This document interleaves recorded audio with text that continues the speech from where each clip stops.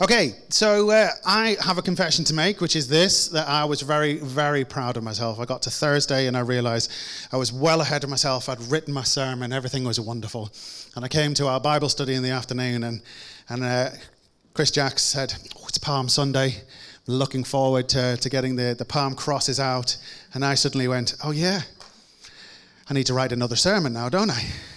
So I went home and wrote a different one. Anyway, so uh, we're looking today, uh, departed slightly from where I was going.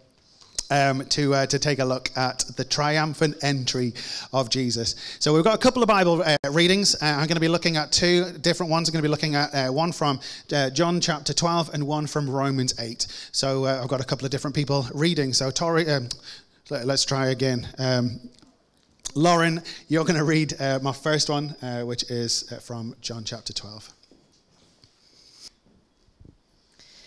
The next day, the news that Jesus was on the way to Jerusalem swept through the city. A large crowd of Passover visitors took palm branches and went down the road to meet him. They shouted, Praise God! Blessings on the one who comes in the name of the Lord. Hail to the King of Israel. Jesus found a young donkey and rode on it, fulfilling the prophecy that said, don't be afraid, people of Jerusalem. Look, your king is coming, riding on a donkey's colt. His disciples didn't understand at the time that this was a fulfillment of prophecy. But after Jesus entered into his glory, they remembered what had happened and realized that these things had been written about him. Many in the crowd had seen Jesus call Lazarus from the tomb, raising him from the dead, and they were telling others about it. That was the reason so many went out to meet him, because they had heard about his miraculous sign. Then the Pharisees said to each other, There's nothing we can do. Look, everyone has gone after him. Thank you very much. Uh, Toria is going to come and read to us from Romans chapter 8. And uh, this is uh, some of my favorite scripture. Uh, and I'm purposely pulling it apart over a few weeks. So uh, over to you. Thank you. What shall we say about such wonderful things as these? If God is for us, who can ever be against us? Since he did not spare even his own son, but gave him up for us all, won't he also give us everything else? Who dares accuse us whom God has chosen for his own? No one, for God himself has given us right standing with himself. Who then will condemn us? No one, for Jesus Christ died for us and was raised to life for us, and he is sitting in the place of honour at God's right hand, pleading for us. Can anything ever separate us from Christ's love?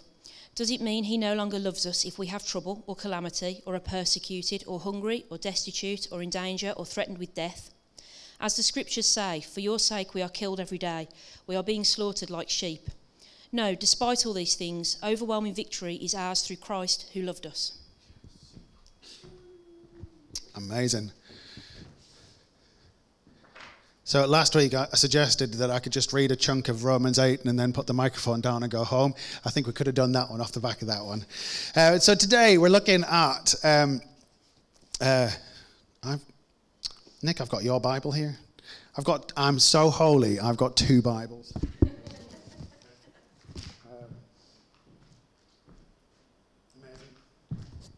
right now I'm back to normal holy standards with my one Bible.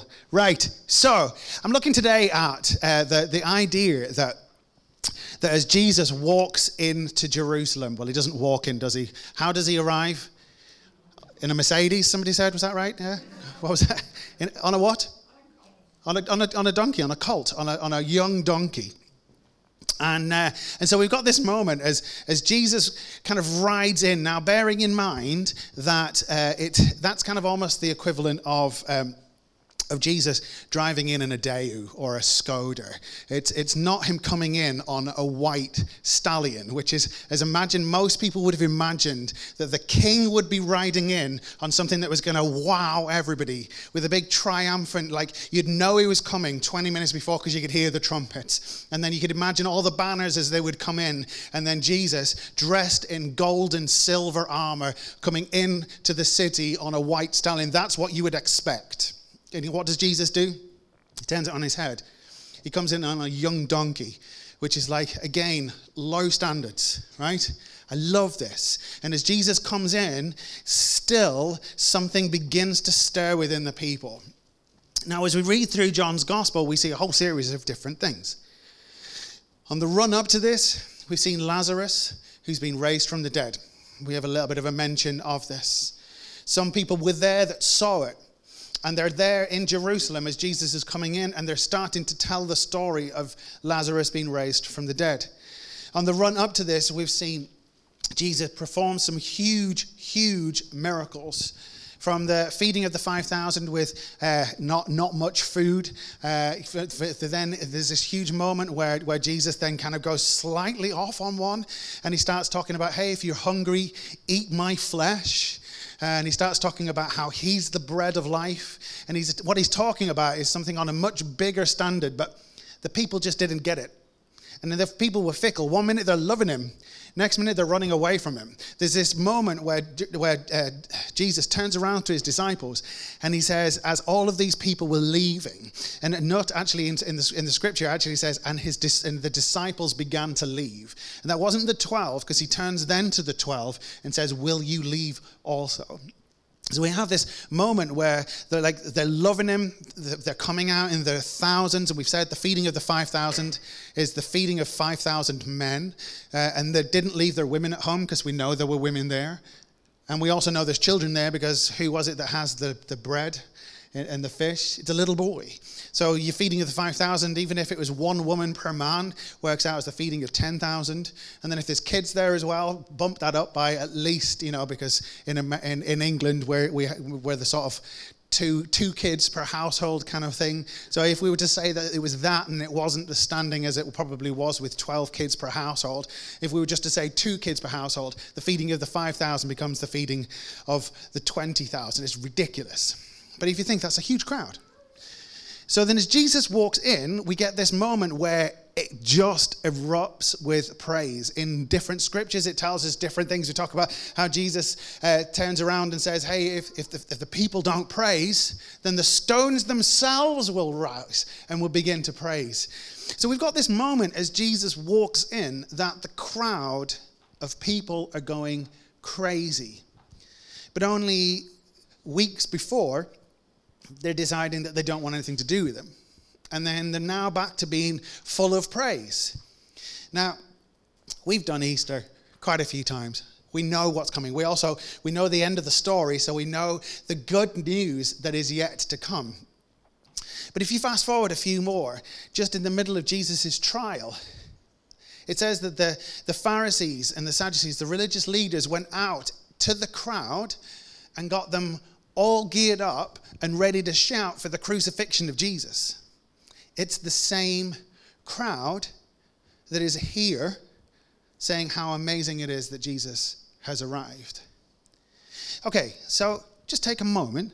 I want you to pretend that you've got the ability to kind of go back in time to that moment. Imagine being in Jerusalem. Imagine being there as Jesus comes in on this donkey. And uh, imagine what that would be like, right? Imagine how that would feel.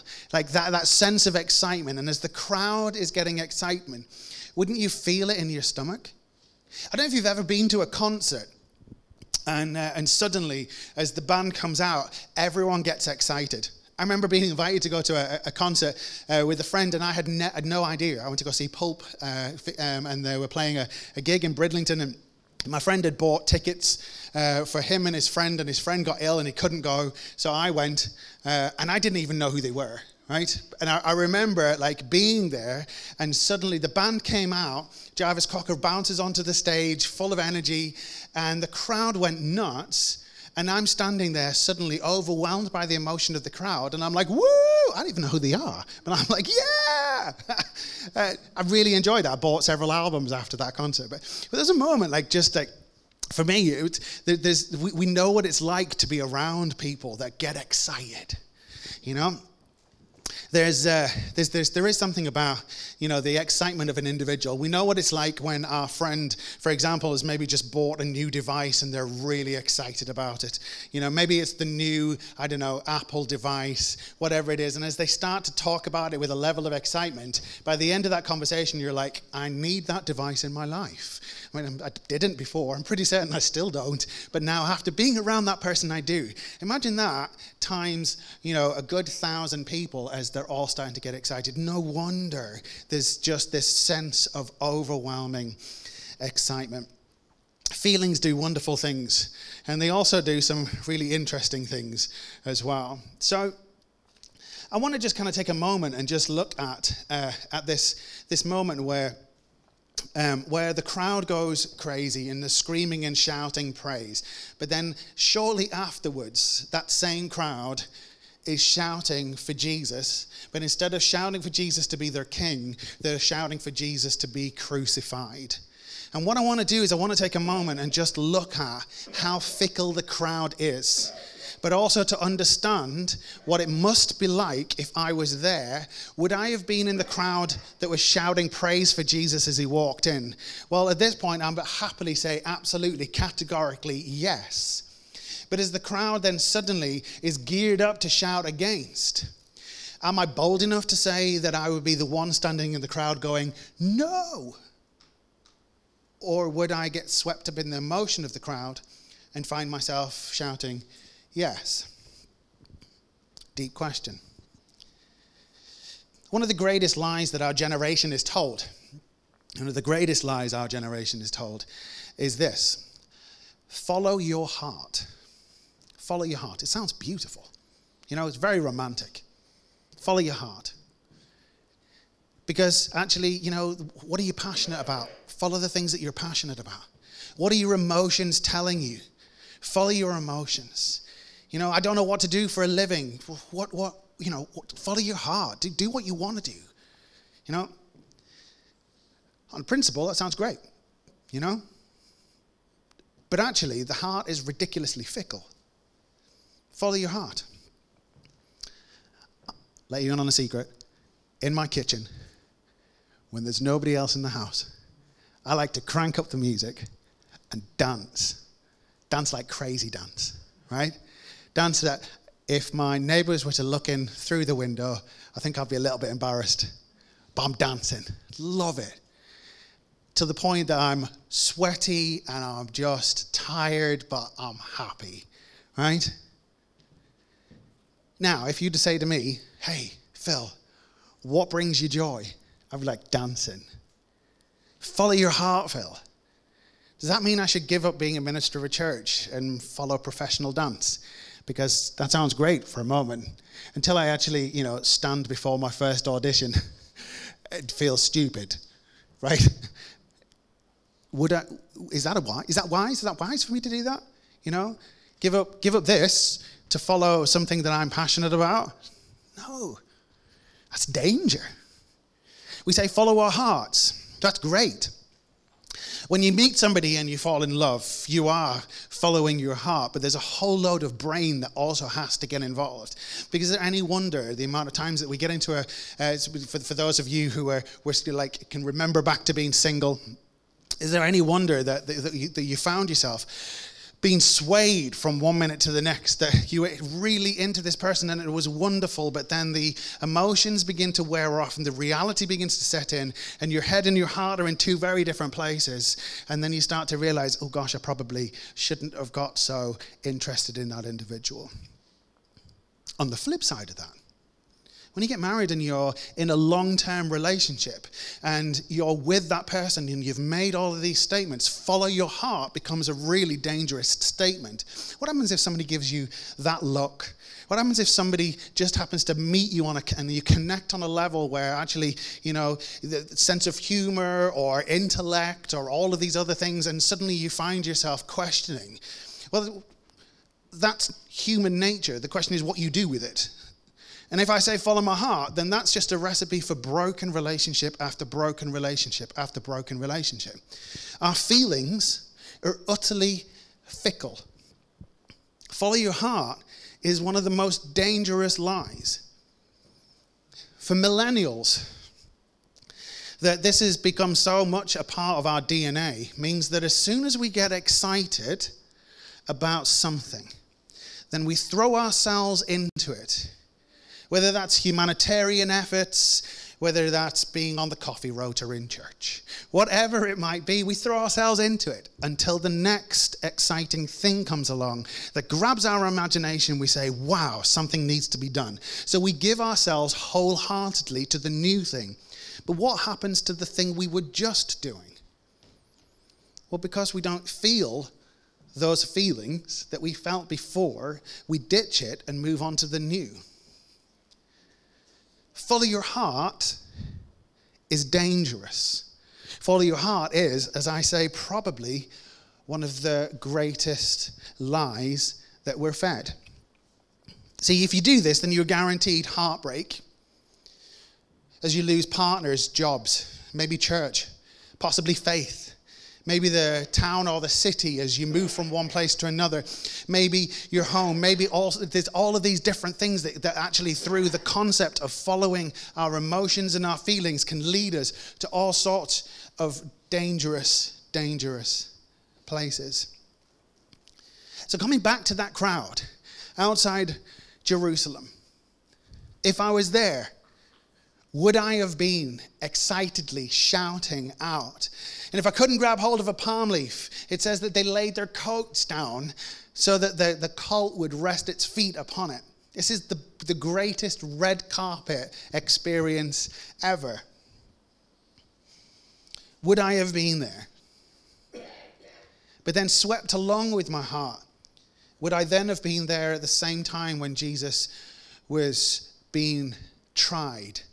And the religious leaders came out and got everybody really excited about crucifying Jesus, would my voice have been found among the crowd?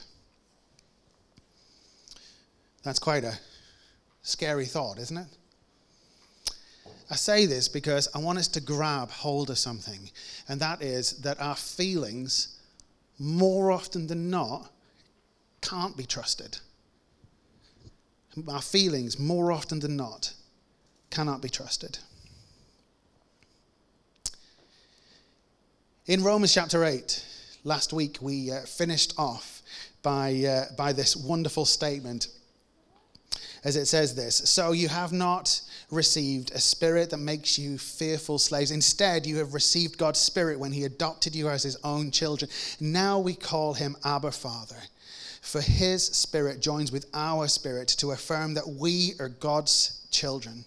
And since we are his children, we are his heirs. In fact, together with Christ, we are heirs in God's glory.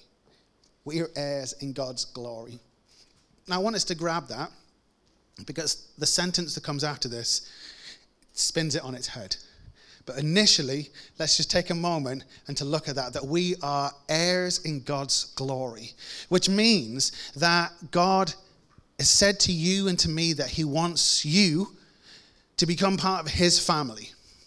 That he wants to redeem you from your past and wants to set you free from the things to which you were bound to. And he wants to welcome you into a new life with him that brings glory to Him and that brings you into a place of new life. This is what God wants to do. This is what this verse is all about that we get to call God Father.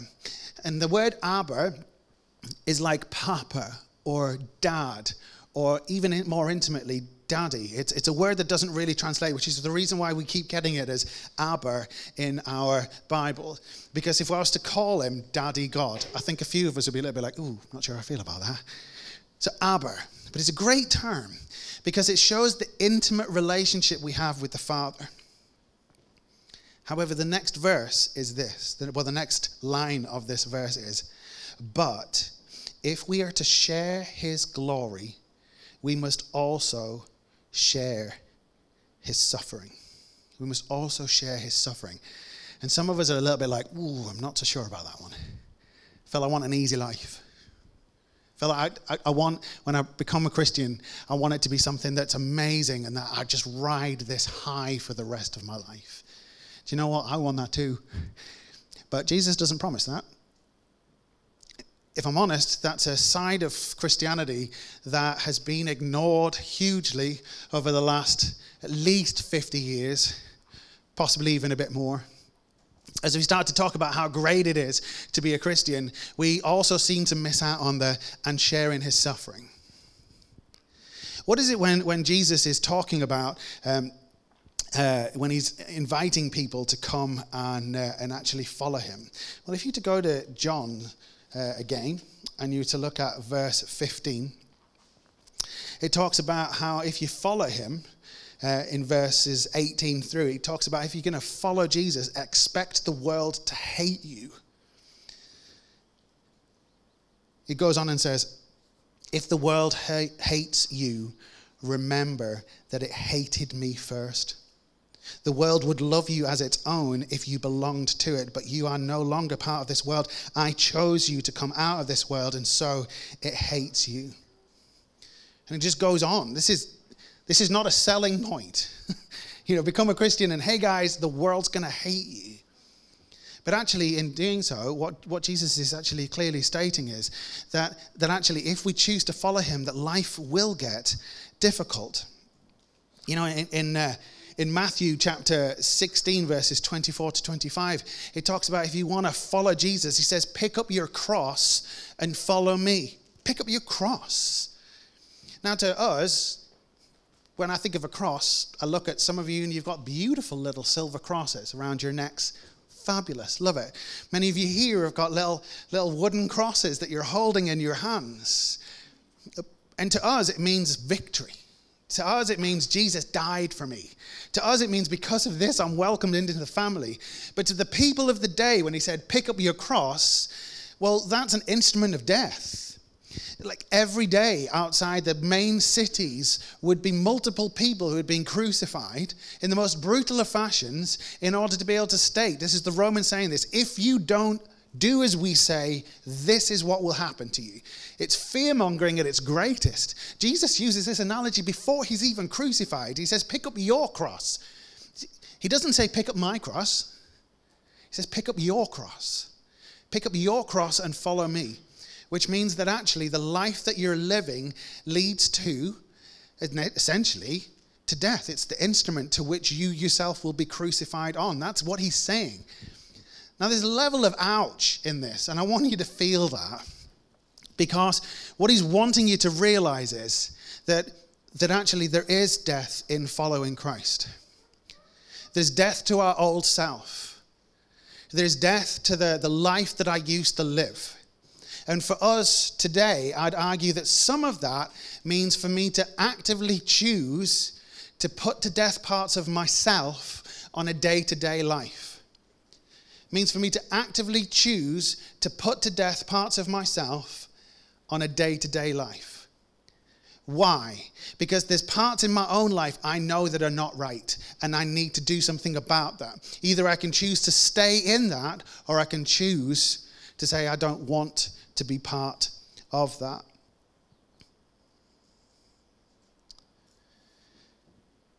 Coming back to Romans 8, that wonderful section of scripture that Tori just read to us.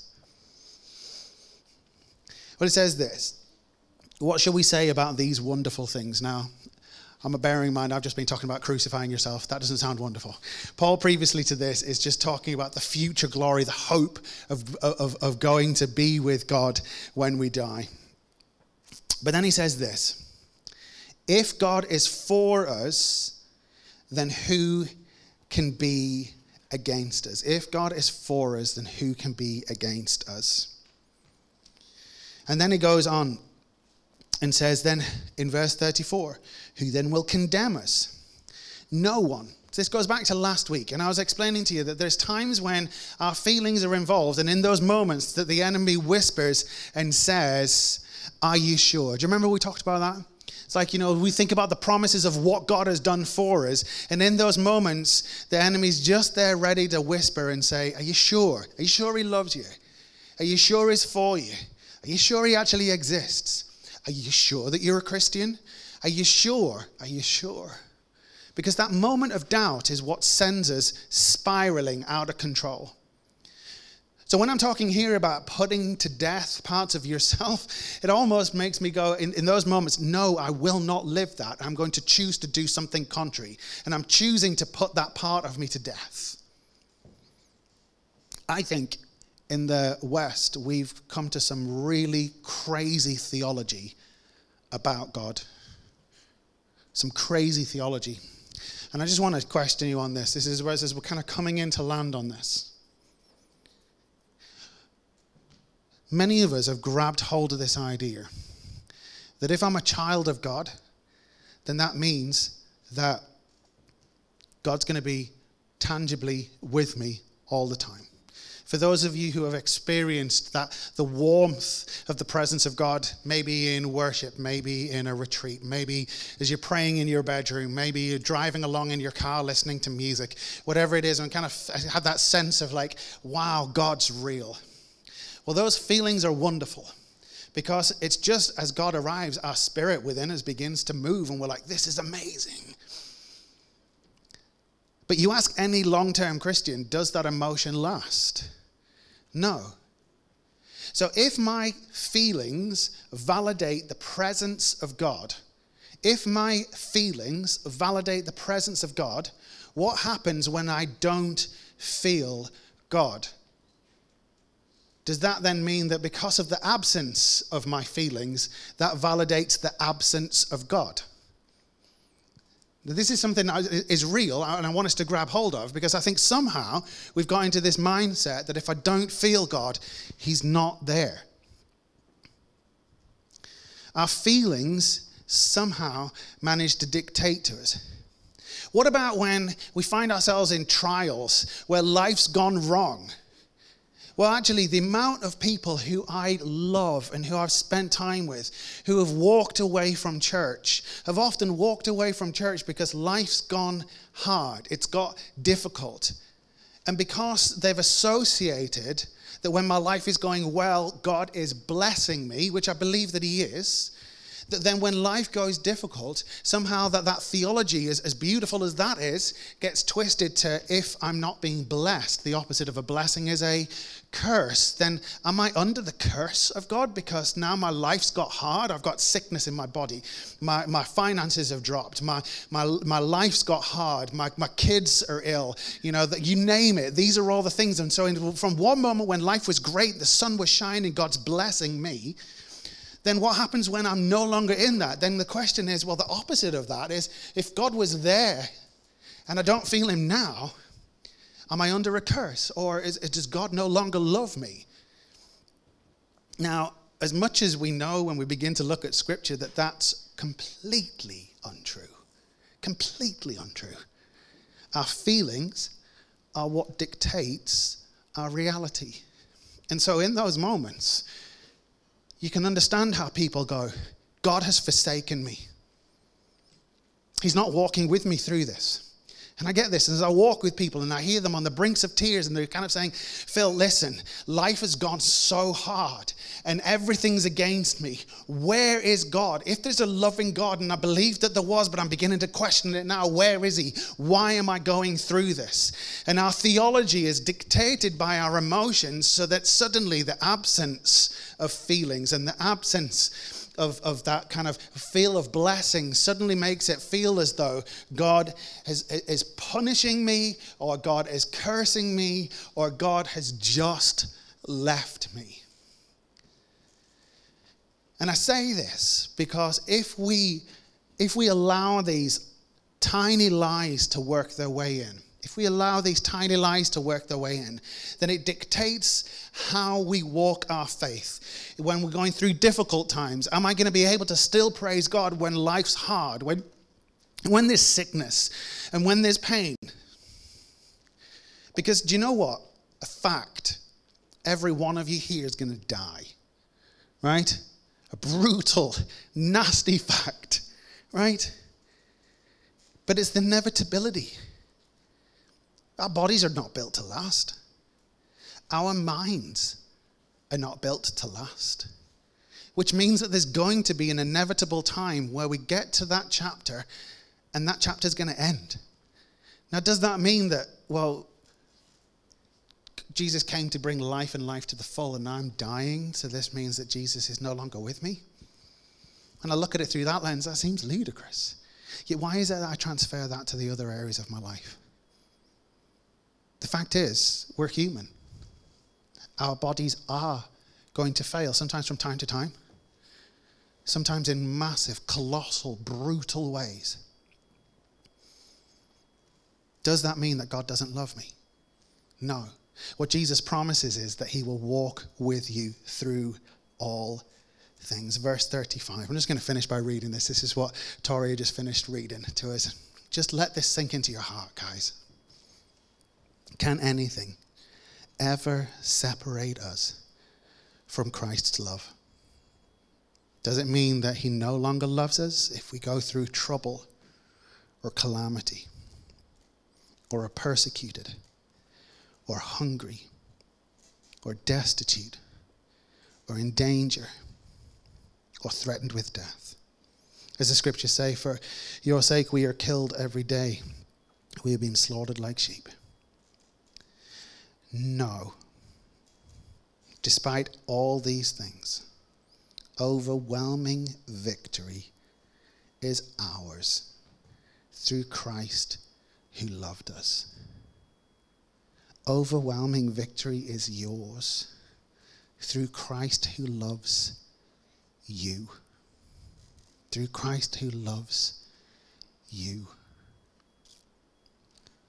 We need to take this. We need to grab this. This is what we need to allow to permeate our lives so that when we go through calamity, when we go through danger, when we go through persecution, when we're hungry and can't afford to feed ourselves, when we are threatened, when we are ill, when we are sick, that God still loves you and promises to walk with you through it this is the truth that needs to become our doctrine. That when our feelings tell us otherwise, we say, No. This is the reality, not my feelings. My feelings will not dictate whether God is real or not in this moment. God is real, regardless of what my feelings say. This is the truth that we need to grab hold of let's take a moment to, to pray and, and then we're going to finish by singing the song dwell and in this it talks about the difficulties of life but how we choose to shelter in the shadow of God's wings. It's a term from Isaiah, but it's just this idea of like just choosing to dwell in his presence, even when life goes wrong. Let's take a moment just to pray. In the silence, I just want you just to invite God just to fill you afresh in this moment, and then I'll uh, open in prayer.